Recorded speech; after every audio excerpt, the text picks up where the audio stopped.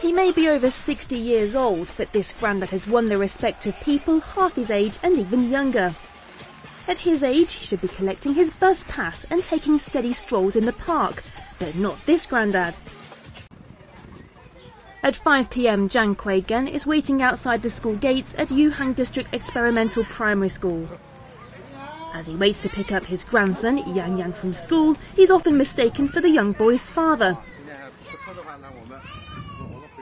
In fact, many believe he looks so good for his age. He was even awarded in a local TV competition the title of Hot Daddy. After seeing me win the title of Hot Daddy on TV, many people like to tease me and crack jokes. You see, the title was originally meant for young fathers in a healthy baby contest in Hangzhou, but I'm a granddad. Zhang has kept his youthful looks by keeping himself active. He enjoys many of the same things that other people his age like, such as peking opera and playing traditional Chinese instruments. But his real passion is hip hop.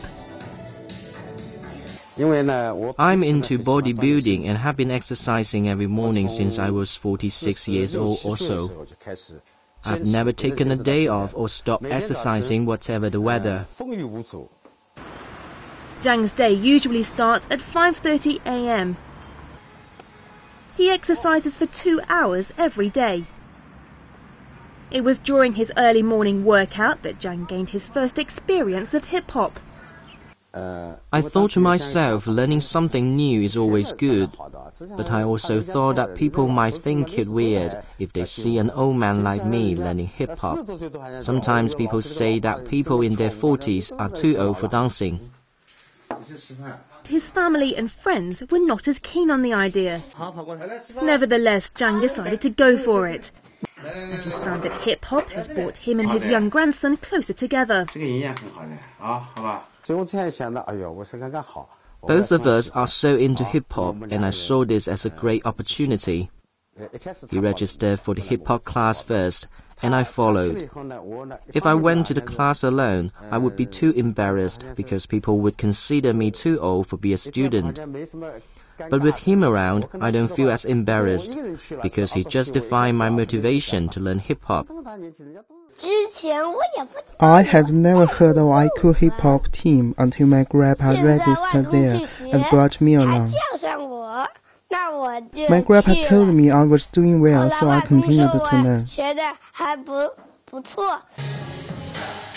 Su Zhongxing, Zhang's hip hop tutor, had doubts about his older student at first. I thought it over and then agreed to teach him.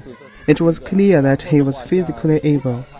It would be too difficult for many elderly people to attempt breakdancing. But considering that he had done martial arts at Peking Opera in the past, we have decided to let him have a try. The grandpa and his grandson join the people in the dance studio every Friday night. After one class, any doubts that Su Zhongxing had had disappeared. Having studied the basics of hip hop, Zhang is modest in his pursuit and admits that he finds some things hard.